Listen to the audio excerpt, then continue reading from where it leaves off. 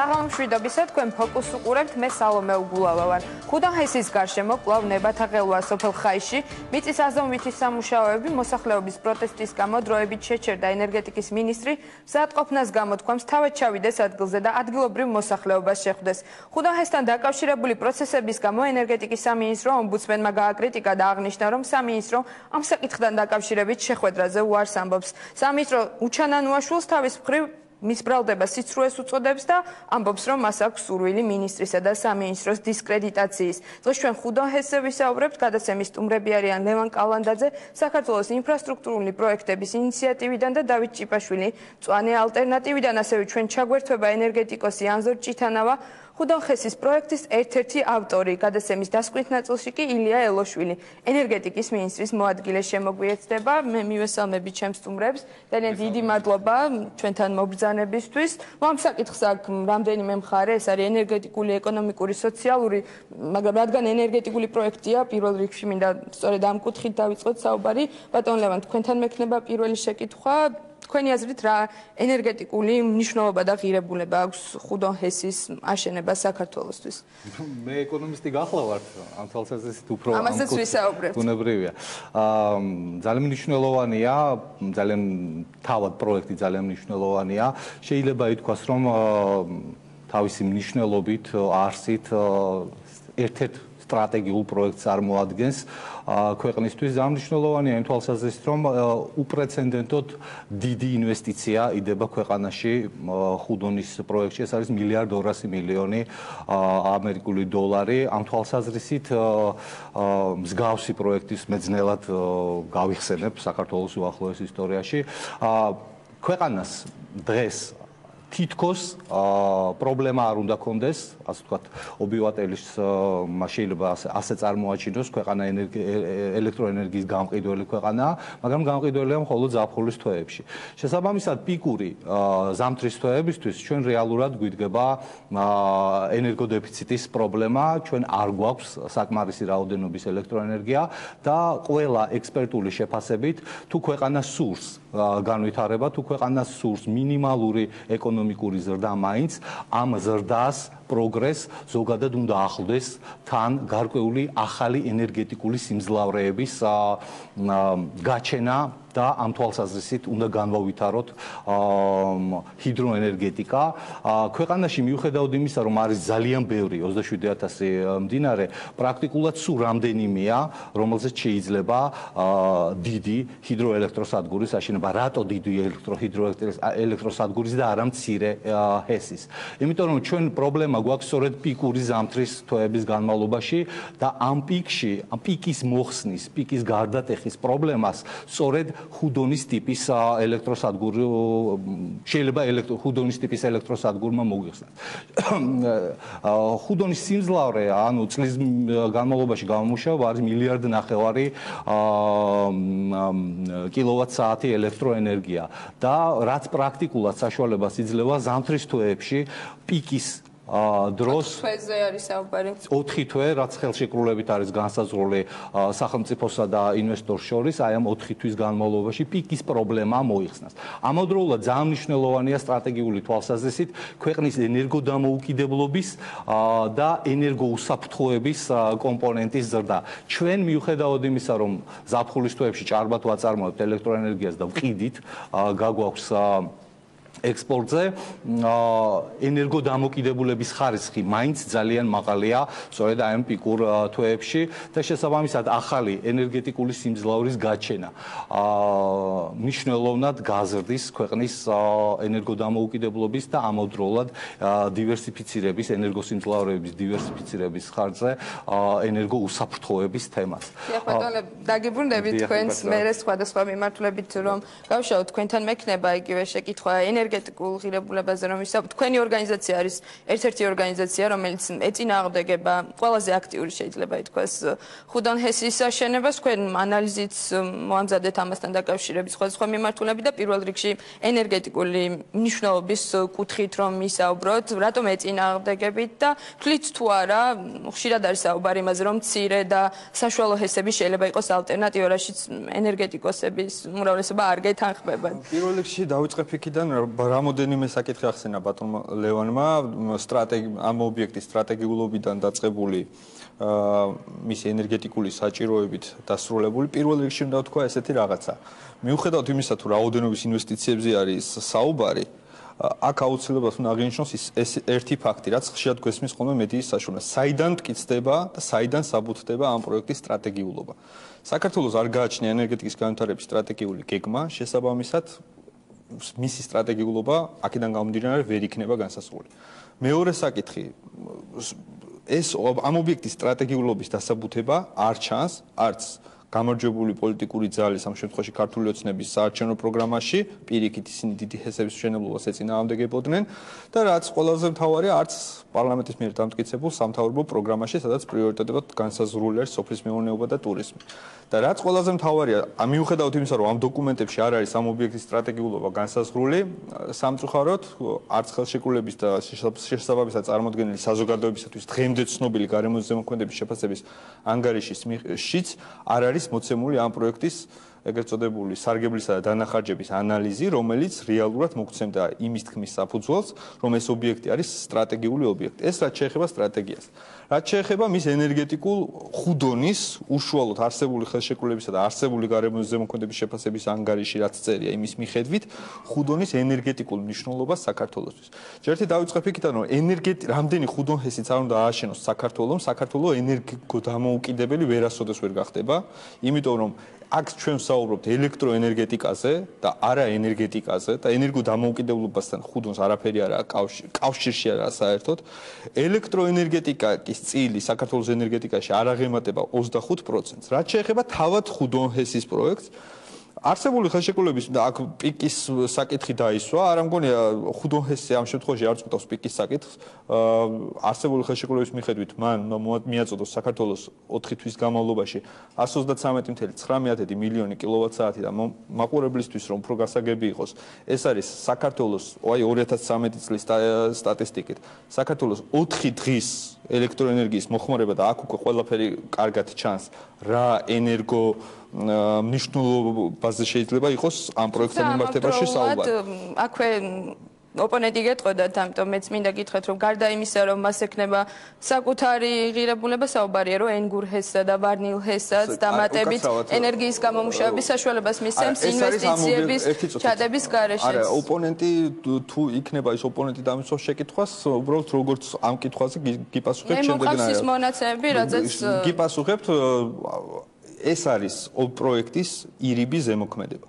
ანუ თუმცა ზემოქმედება. არა, ზემო თუმცა ზემოქმედება კი, მაგრამ ამ ობიექტზე რომ განხილული ყოფილიყო წარმოქმნილი გარემოს ზემოქმედების შეფასების ანგარიში დეტალურად სხვა ალტერნატივები, მათაც იგივე უკაცრავად. არა, დოკუმენტებში არ არის ეს გაწერილი? არა, დოკუმენტებში კი არ არის გაწერილი. დოკუმენტი არის არა უხარისხო პირდაპირ ვიტყვი და არა არაფერს არ ასაბუთებს, მით უმეტეს არ ასაბუთებს ამ ობიექტის სტრატეგიულ მნიშვნელობას.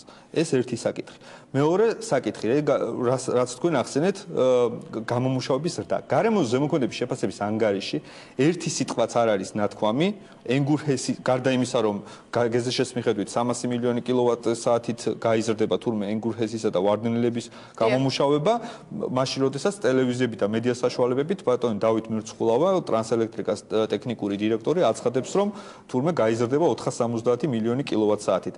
მუშაობის რეჟიმები მოცემული არც ერთ დოკუმენტში საზოგადოებისათვის ხელმისაწვდომ დოკუმენტებში უბრალოდ არ არსებობს. ამიტომ ეს არის ან პირადი მოსაზრებები, ან მაშინ დადონ დოკუმენტები სად იზრდება აღნიშნული ოდენობით გამომუშავება ამ ჰიდროელექტროსადგურებს და ამასთანავე საპროექტო ალტერნატივებითაც, რომელიც არ არის შესწავლილი წესიერად, წესიერად კი პრაქტიკულად ისე არის გაკეთებული, რომ მოხდეს მომხდარიყო იმ ალტერნატივის რა ალტერნატივას დღეს არის მისი თქვათ დასაბუთება არ არის ნორმალურად განხილული სხვა ალტერნატივები იმიტომ რომ თუნდაც საპროექტო ალტერნატივების თვალსაზრისით სხვა ალტერნატივებსაც შეიძლება ანალოგიურად ქონოდა მსგავსი ტიპის ირიბის ზემოქმედება ენგურჰესა და ვარნინჰეს ინტერესების კასკადზე. ამიტომ, როდესაც ვსაუბრობ ჩვენ ერთ ობიექტზე, უნდა ვისაუბროთ ამ ერთ ობიექტზე და მის პირდაპირ მის პირდაპირ ენერგეტიკულ საჭიროებას.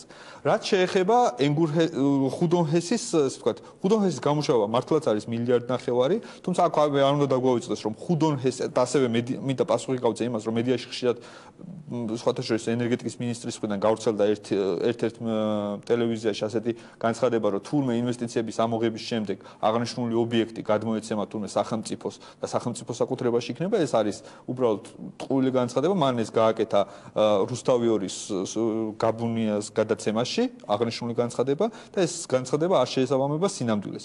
ის არის ის იქნება სამუდამოდ საკუთრებაში კერძო კომპანიის. აი ახლა მოდი ავიღოთ თუ რადგან ენერგეტიკაზე ვსაუბრობთ, ვინ არის ერთ კერძო ინვესტორი?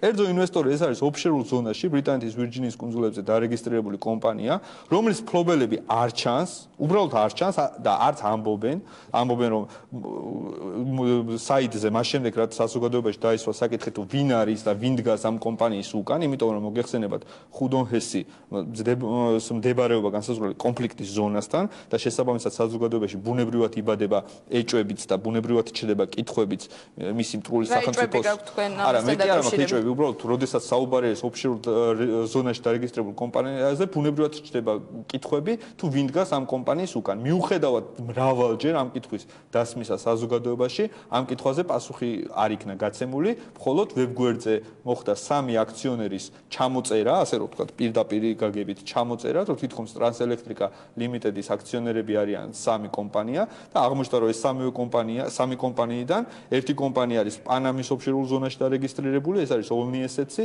მეორე კომპანია ეს არის SGGS ინფრასტრუქტურა რომელიც ასევე დარეგისტრირებულია ბრიტანეთის ფლობელობაში არსებულ ჯერსის კუნძულზე ხოლო მესამე კომპანია World Energy Limited დარეგისტრირებული იყო 2000 წელს მაგრამ 2003 წელს მისი ანუ მოხდა დიზო ანუ ლიკვიდაცია მოხდა და ოფიციალურად მსგავსი დასახელების კომპანია დღეს მდგომარეობით ფიზიკურად არ არსებობს არსებობს. ასევე გაუგებარია დაგიბრუნდებით ბატონი ემზარიც უნდა შემოვიყვანოთ საუბარში აუცილებლად.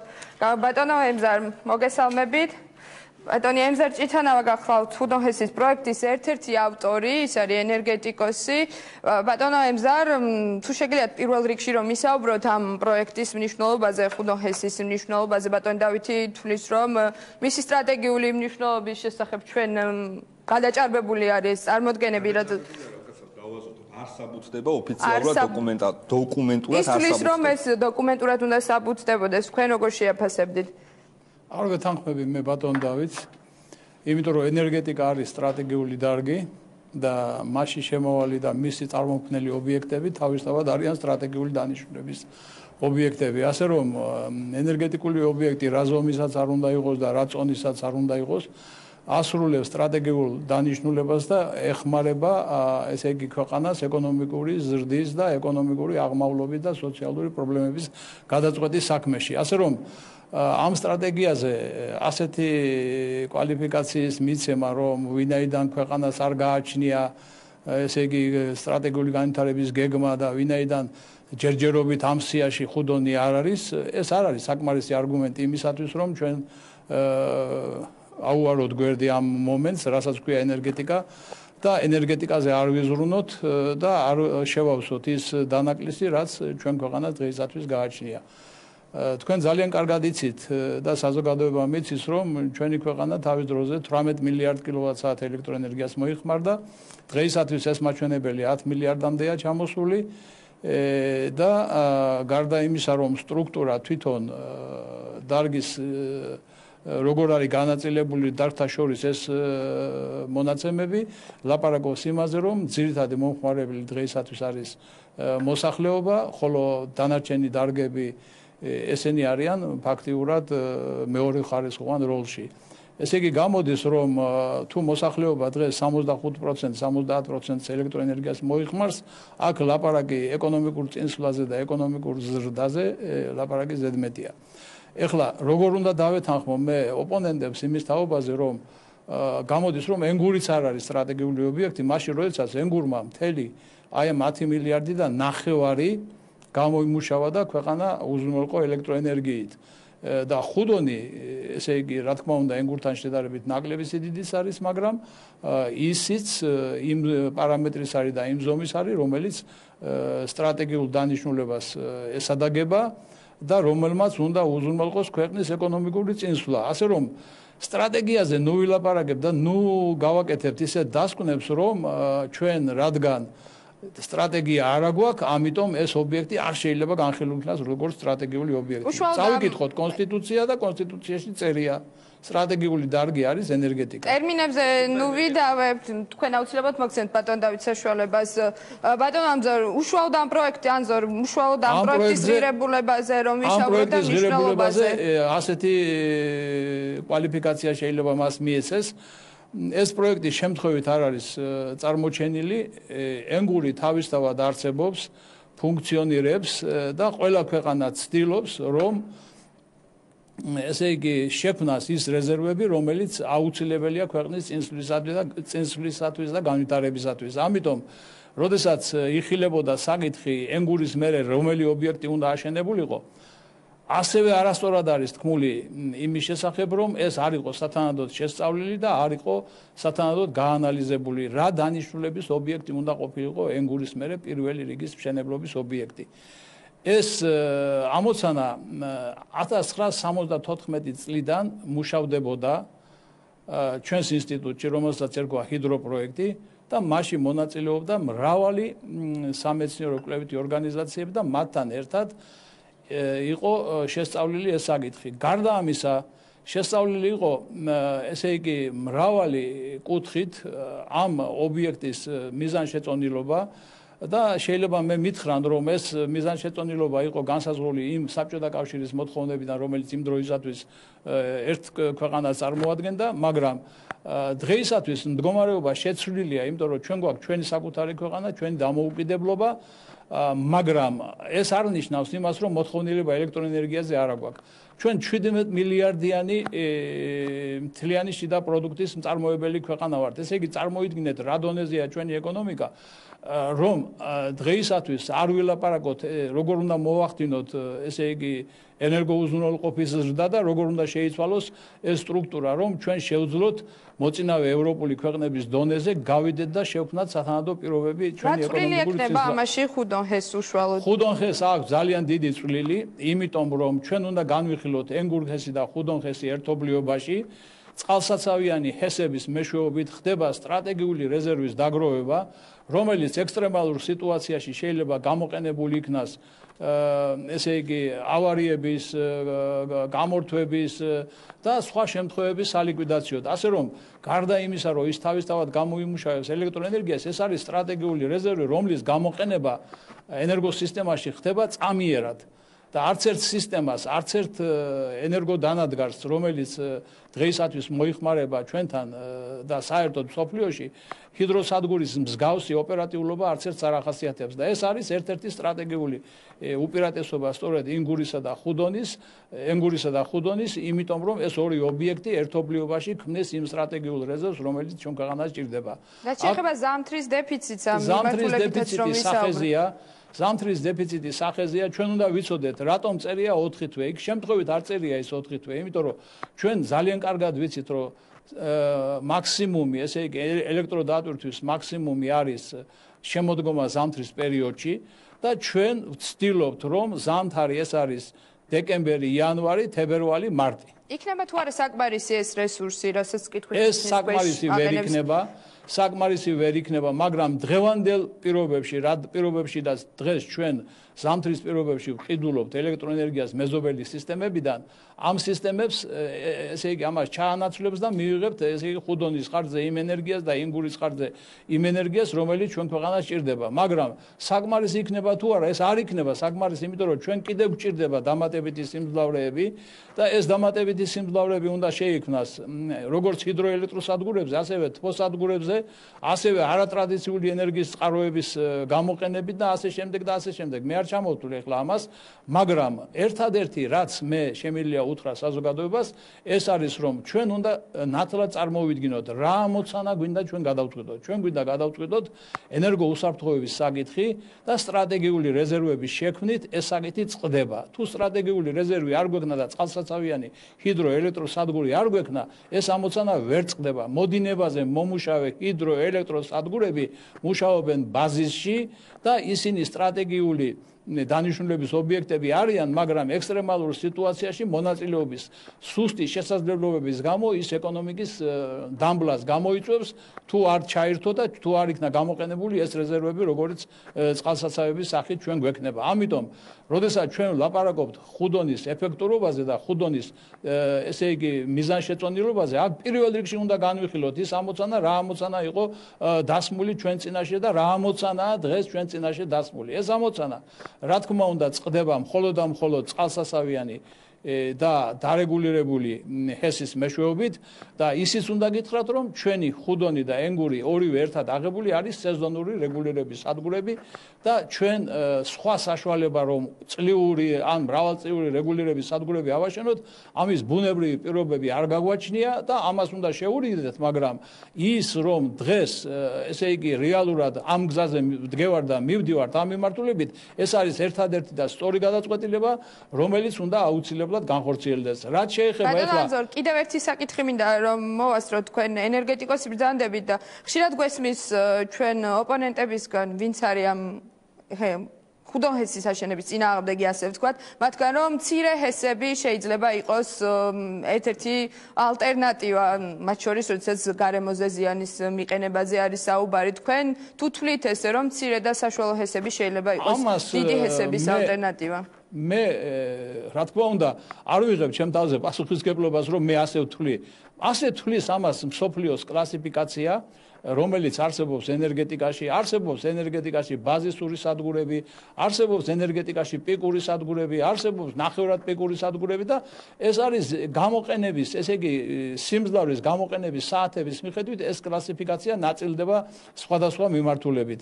მე პირდაპირ შემიძლია გითხრათ, რომ ცირე ენერგეტიკაზე ცირე ენერგეტიკაზე ეს შეხედულება, რომელიც ჩვენ საზოგადოებას გააჩნია, ეს არის ცოტა გადაჭარბებული, იმიტომ რომ ცირე ენერგეტიკას ცირე შესაძლებლობები აქვს და დიდი შესაძლებლობები მას არ გააჩნია.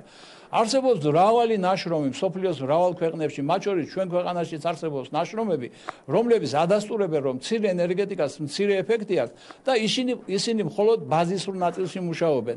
და რაც შეეხება ხუდონის ჩანაცვლებას, აი ესე იგი წარმოიდგინეთ, თქვენ მარტო მეგავატებზე რო გავყოთ 10 მეგავატიანი სადგური, მცირე სადგური რო ავაშენოთ, 70 უნდა ავაშენოთ იმისათვის, რომ ხუდონის შეცვალოს, მაგრამ ენერგეტიკულად ეს ასე არ არის. როდესაც დატვირთვის გრაფიკებს ვიხილავთ, ჩვენ უნდა განვიხილოთ, როგორ იფარება ეს დატვირთვის გრაფიკები ენერგეტიკაში, ენერგეტიკული ობიექტების მონაწილეობით და თუ 10 მეგავატიანი სადგური ესე იგი ბაზისში იმუშავებს, მაშინ მცირე ჰესის დადგმული სიმძლავრე უნდა იყოს 30-35 მეგავატი. აი წარმოიდგინეთ თქვენ, ამისთანა ჰესები რამდენი უნდა ავაშენოთ და რა დონის ზეგავლენა ექნება მას ესე იგი გარემოზე და როგორი მაჩვენებლები გვექნება ჩვენ ჯამურად, როდესაც 70 ობიექტს ავაშენებთ ესე იგი იმისათვის რომ ჩავანაცვლოთ ერთი ობიექტი. უნდა დაგეშვიდობოთ.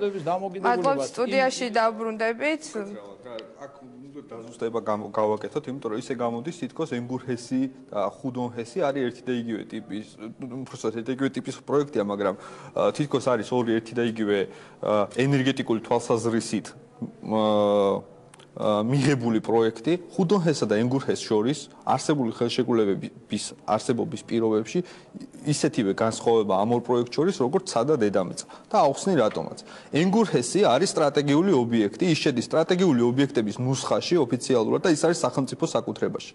მაშინ როდესაც ხუდონჰესი იქნება იქნება რა ხო ნუ თუ იქნება კერძო ობიექტი ეს ობიექტი ში განსაზღვრული, ანუ საქართველოსის მოსაწოდებელი ელექტროენერგია არის უკვე წინასწარ განსაზღვრული და ეს შეადგენს 133.9 მილიონ კილოვატ-საათს, ანუ საქართველოს იანვრისთვის 4 დღის მოხმარებას, რომელიც ფასიც განსაზღვრულია 5.84 ამერიკული ცენტი, რომელიც დღეს არსებული ვალუტის კურსის გათვალისწინებით არის დაახლოებით 10 თეთრი და ეს ფას აი ამ ფასად ელექტროენერგია 1 კილოვატ-საათი ელექტროენერგია აჭარბებს G-Power-ის ფლობელობაში არსებული გაზის თბოელექტროსადგურის 1 კილოვატის საათის ფასსაც კი, რომელიც დღის მდგომარეობით არის 8.58 მიასედი თეთრი.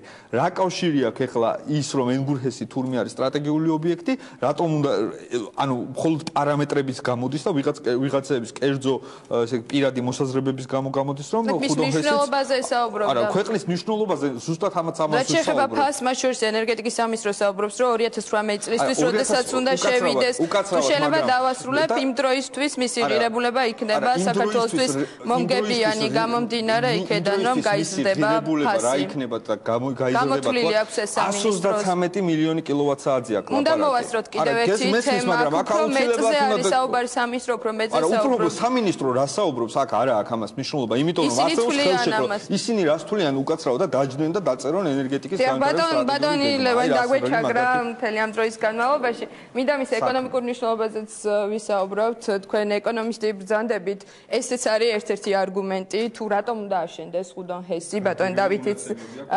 დამეთანხმება თქვენ როგორ შეაფასებდით მის მნიშვნელობას აქ საუბარი ბატონი ილია ელოშვილი ადრეც საუბრობდა ჩვენთან ინტერვიუში რომ ენერგეტიკული საკითხები რომ დავივიწყოთ ცალკე აღებული საწარმო იმდენად დიდი ინვესტიციაა რომ ის საქართველოს მოუტანს სარგებელს სამნიშნელოვანია მე ვახსენე კიდევაც მილიარდ 200 მილიონიანი ინვესტიცია და უპრეცედენტო მასშტაბი ეს არის ძალიან მნიშვნელოვანი ინვესტიცია.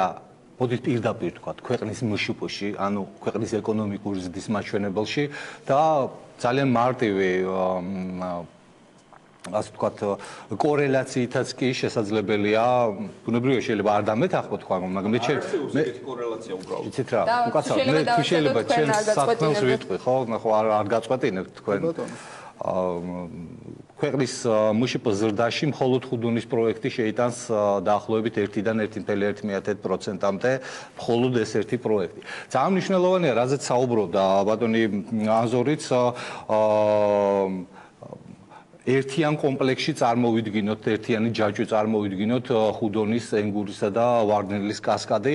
ჩვენ როცა საუბრობთ ენერგოდამოუკიდებლობის ხარისხის ზრდაზე, ეს ნიშნავს იმას, რომ ჩვენი ენერგოდამოუკიდებლობის ხარისხი უნდა შემცირდეს მაგალითად, თქვენ ფასებიც ახსენეთ 5.94 ცენტი, რომელსაც 2020-დან 2027 წლამდე აა ხუდონი სახელმწიფო შეასყიდის ამ ფასად 133 მილიონი კილოვატ-საათ. ამ 133 მილიონი კილოვატ-საათ ელექტროენერგია საცხელ შეკრულებით არის განსაზღვრული, მაგრამ ეს არ ნიშნავს იმას, რომ დანარჩენი ენერგია აბსოლუტურად მთელი მოცემის ოდენობა საქართველოს ფარგლებს გარეთ გაიყიდება. ეს არც არავის არ უთქვა.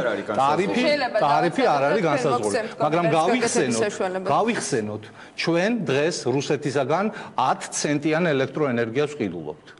2020 წლისთვის, როცა ხუდონი სავარაუდოდ უნდა ამოქმედოს, რა ეღირება რუსული ელექტროენერგია. გავითვალისწინოთ ისიც, რომ რუსული ფასწარმოქმნის კომპონენტი ჩვეულებრივ საბაზრო პრინციპებს სილდება და რუსულ ფასწარმოქმნ რუსული ელექტროენერგიის ფასში ყოველთვის დევს პოლიტიკური კომპონენტი.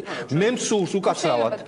მე მსურს დიდხანს საუბრობთ ბატონ დავით რომ ჩემი ქვეყანა მაქსიმალურად ენერგოდამოუკიდებელი იყოს რუსული პოლიტიკური პოლიტიკური ელექტროენერგიისაგან, რუსული პოლიტიკური ფასიდან ელექტროენერგიაზე. ყველა კომპეტენტური საერთაშორისო ორგანიზაციების გათვლებით 2020 წლისთვის რუსულის ელექტროენერგიის ფასი მნიშვნელოვნად გაიზრდება. რას იძლევა ხუდონი? ხუდონი საშუალებას იძლევა ეკონომიკური თვალსაზრისით, რომ თავის მიერ გამომუშავებული და ენგურზე და ვარდნილზე გაზრდილი სიმძლავრის მიხედვით ჩვენ საშუალება გქონდეს რუსული ეგრეთ წოდებული პოლიტიკური ფასით 10 ცენტიანი ელექტროენერგია ჩავანაცვლოთ ქართული გაცილებით იაფი ელექტროენერგიით. ეს ბიუჯეტს აძლევს ეკონომიას. რა ეკონომიას ლაპარაკობთ უკაცრავად ძალიან დიდი ბოდიში რა. უკაცრავად რა დავამთავრებ რა ხო თქვენ ძალიან ბევრი ისაუბრეთ და მეც მომეწეთ საშუალება ესეთ დებატების რეჟიმში ხო ვერ ვისაუბრებთ, არა?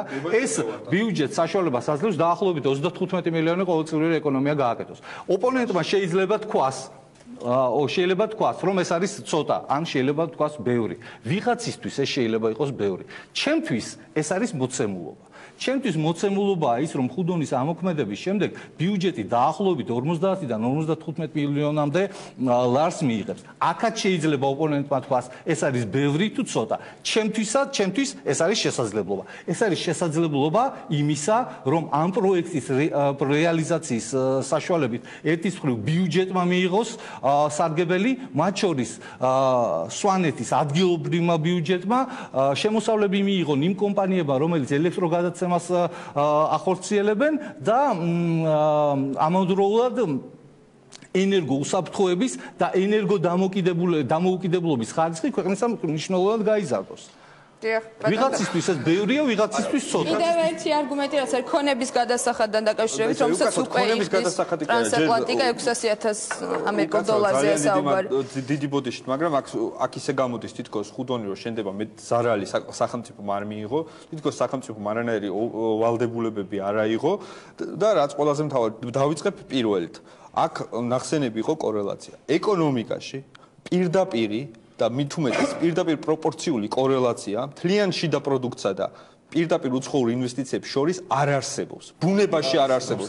არ არსებობს. ნებისმიერ ეკონომის ნებისმიერ ეკონომის უკით წაიკითხეთ, მაშინ რა ვიცი, ეკონომიკა და მითხარით, აბა სად ამოიკითხათ? კი ბატონო, და არაფერს აუცილებლად გავითვალისწინებთ. აი, ნუ გადავალთ მეორე საკითხი, მეორე საკითხი რა 55 მილიონ ლარზის შემოსავლებზე არის საუბარი, როდესაც, როდესაც ელემენტარულად საშემოსავლო გადასახადი, გარემოზე ზემოქმედების შეფასების ანგარიში წერია გაბერილი, არის 21.2 53 მილიონი ლარი. დათვალეთ ეს მონაცემები. ძალიან მარტივი გამოსათვლელია ეს. კი არ ჩვენ კი არ დავთვალეთ, უბრალოდ არსებული მონაცემებით, მონაცემები რაც იყო გავრცელებული კომპანიის მიერ და მის მიერ დაქირავებული კონსულტანტების მიერ, უბრალოდ გადავთვალეთ და არის ეს მონაცემები გაბერილი. ძალიან მარტივი.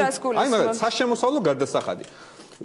ტელევიზიებიდან გვესმის, რომ საშემოსავლო გადასახადის სახით ხუდონჰესი გადაიხდის 38 მილიონ ლარს. გეზეშეში წერია 21 მილიონი ლარი. ეხლა იმისთვის ტელევიზიებიდან გვესმის ძალიან ფართოა, რასაც თქვენ ამბობთ. სწორედ გეზეშეს მონაცემები 21 მილიონი ხო წერია 21.53 მილიონი ლარი.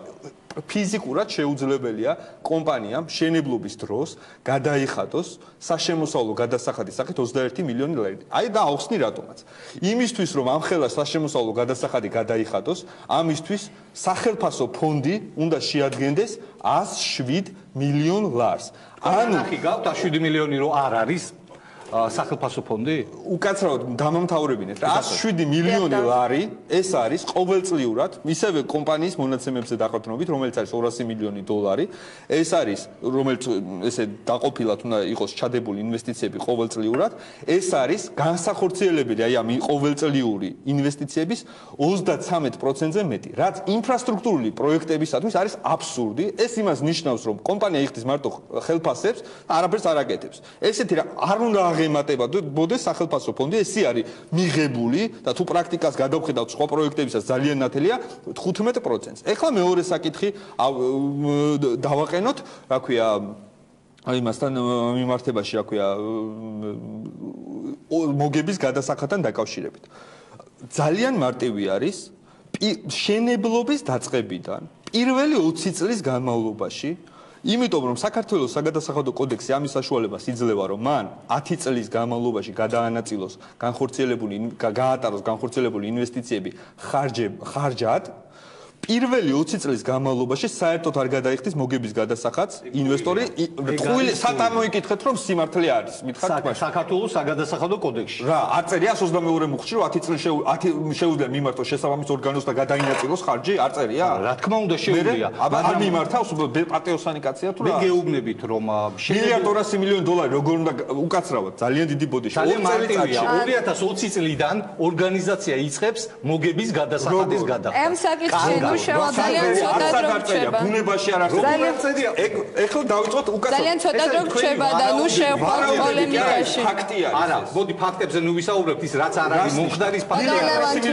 როგორ ამოიღებს? ძალიან მაინტერესებს. მილიარდ 200 მილიონი დოლარის ინვესტიცია. აკრიტიკებთ ალტერნატივას რა წარმოგიდგენთ. როგორ არის? როგორ შეუძლებელია 20 წელიწადი მოგების გადასახადს არ გადაიღეს. ძალიან ცოტა დრო რჩება და ერთი კითხვაც მინდა მოვასწრო. ეხლა რა შეიძლება დანახარჯების სახე უნდა მივი, იმიტომ რომ ძალიან მოკლედ ძალიან მოკლედ. კიდევ ერთი საკითხი, რომელიც საერთოდ ისე ავიწყდებათ ხოლმე ეკონომისტებს, რატომღაც ხუდონის მომხრე ეკონომისტებს ახსენონ პროექტის შემოსავლების, ანუ მისაღების სარგებლის დღევანდელი ღირებულება, ეგრეთ წოდებული present value. არსად არ არის ეს გაკეთებული და მხოლოდ განცხადებები გვესმის, რომ 20 წელიწადში ამდენი შემოსავალი იქნება და ეს არის თუმე მოცემულობა. აი 20 წელიწადში მიღებული შემოსავლის დღევანდელი ღირებულება სად არის დათვლილი? იმიტომ რომ დღეს სახელმწიფომ უკვე გაიღო სერიოზული დანახარჯები, კერძოდ სახელმწიფომ 1500 ჰექტარზე მეტი მიწა მათ შორის ტყის მასივები, მათ შორის არსებული გზა, მათ შორის დაურეგისტრირებელი მოსახლეობისათვის დაურეგისტრირებელი ქონება და მათ შორის საბჭოთა კავშირის დროს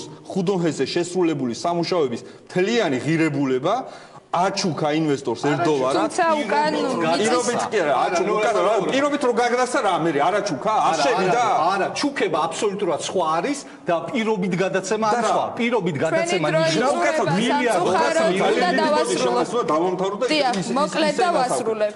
1 დოლარად გადასა. ანუ სახელმწიფომ და აიღო ვალდებულება. თუმცა ის აზომვა ხდება და უკან დაბრუნება რაც თავიდან უნდა შეისყიდო. ეს არის დარღვევა პირდაპირ 412 პოლიტიკის ხელშეკრულებაში განსაზღვრული მსოფლიო ბანკის 412 პოლიტიკის და ამას არღვევს როგორც ენერგეტიკის სამინისტრო ამ შემთხვევაში ასევე ტრანსელექტრიკა, იმიტომ რომ ეს პროცესი სოციალურ საკითხს ცოტა სხვა საკითხი და ამას ვეღარ ვასწრებთ ამიტომ მათქმები დამასრულებინეთ.